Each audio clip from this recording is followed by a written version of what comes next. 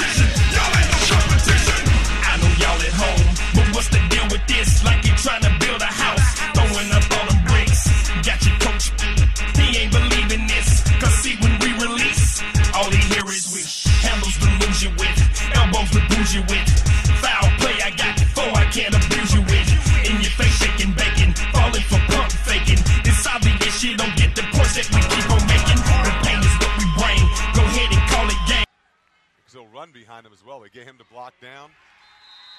And they just wedge block that in ball in touchdown. In for the touchdown. Looked like Jeremy Miret on the handoff to get in and give the Pirates for the moment a 14 to 6 lead. See if they go for one or two. It's the uniforms. We'll talk about that in just a second after the second down play. It goes up the middle for a touchdown.